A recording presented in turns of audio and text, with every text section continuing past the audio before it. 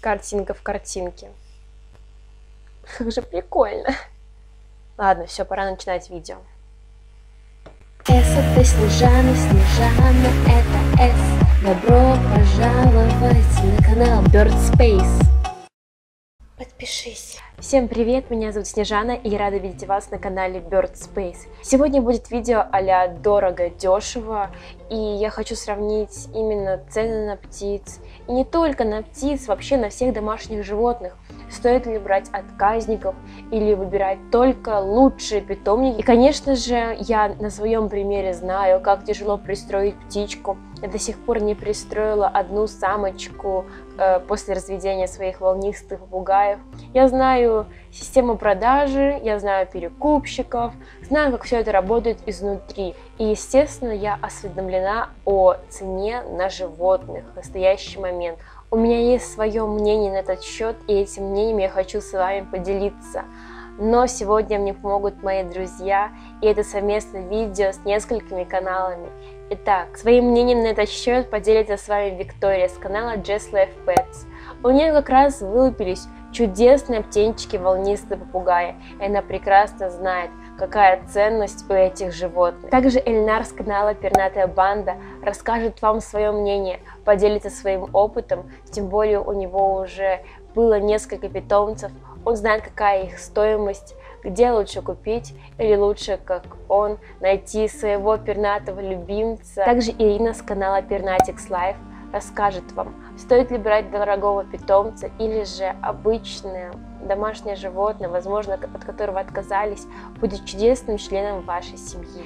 И, конечно же, все ссылки на моих друзей в описании. Обязательно посмотрите их видео, подпишитесь на их каналы, и я думаю, всем нам будет очень приятно. Ну а теперь давайте я поделюсь с вами своим мнением. Как вы знаете, у меня жило огромное количество птиц. Жило и живет, и слава богу, и разные случаи были попадения этих животных в мою семью. Иногда у меня были на передержке животные, от которых просто отказывались. То есть, ну, было условие, просто заберите их от меня. А какое-то время действительно я принимала таких животных. Мне писали, Снежана, я видела ваш канал, я хочу, чтобы вы забрали мою птичку. И несколько раз я брала, действительно брала, но теперь все стало по-другому я все чаще и чаще отказываюсь. На самом деле рассматриваю каждый случай, когда мне предлагают взять птицу, потому что каждая птица своя история. За кого-то мне предлагают доплатить, за кого-то просто заберите, даже с клеткой отдаю, просто заберите.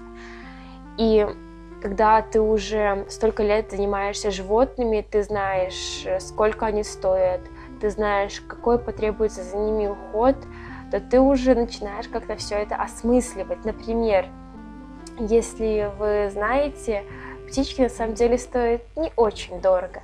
Любая птица стоит не очень дорого. Даже если вы мне сейчас пример приведете кого-нибудь не из маленьких попугайчиков, а из средних, ну хотя бы возьмем Александрийского попугая. Цена рыночная на этих птиц, я уточняла, стоят они 500 долларов на данный момент. Это такая средняя цена, которая вот продается птичка на птичьем рынке. Я вам недавно показывала видео.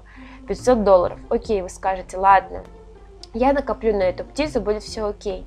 Но сопутствующие расходы, поверьте, будут куда больше. Если вы захотите купить классную клетку, которой до сих пор у меня нет, потому что я не нашла ту клетку, которую я хочу, потому что для Александрийских нужна более длинная, более широкая, более высокая. И идеально я пока не нашла. Даже есть средства, но нет той клетки, которая реально подходит. И не всегда можно вложиться в 500 долларов. Кормление – это не только сухой корм, точнее, это вообще не только сухой корм. Представьте, сколько всего нужно птице. Не говоря уже о кормлении, о содержании, сколько нужно времени уделять ей самой. Иногда мы пересчитываем на деньги, ну, все, что, можно сказать, заботу мы иногда приравниваем к деньгам. Но это на самом деле не так. Птице понадобится еще внимание. Ну ладно, абстрагируемся от таких понятий, как внимание, будем оценивать только все в денежном эквиваленте. Окей, смотрите, отдают вам животное, и неважно это, кошка, собачка, морская свинка. И вы, да, такие радостные, что вам достанется бесплатно, берете ее. Но когда понимаете, что такие вот отказники не всегда здоровые, представьте, в какую сумму может вылиться лечение такой, такого животного, такой птицы, такого кота или собаки. Представляете? И то же самое происходит повсюду. Я заметила, что многие берут, а потом просто, наигравшись, могут опять кому-то отдать. И это не есть хорошо. У каждого животного есть своя ценность, есть своя стоимость. И как я рассказывала в одном из видео, не нужно отдавать животных бесплатно. Например, птичка, окей, Допустим, вы их разводите, и вы решили от них избавиться. Ну, избавиться в кавычках, просто вы решили кому-то отдать. И бесплатно. И вывесили свое объявление о отдаче в дар такой птички. На это объявление могут откликнуться именно перекупщики. Что будет с вашей птичкой после этого, непонятно.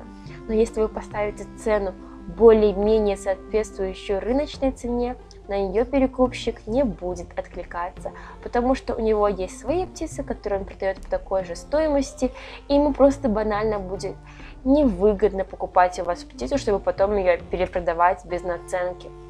Это, пожалуй, все мои мысли на этот счет. Конечно, я после видео, опять же, наверное, буду думать о том, что я что-то забыла сказать. Но единственное, не забудьте подписаться на канал моих друзей. Спасибо за просмотр и всем пока! 咻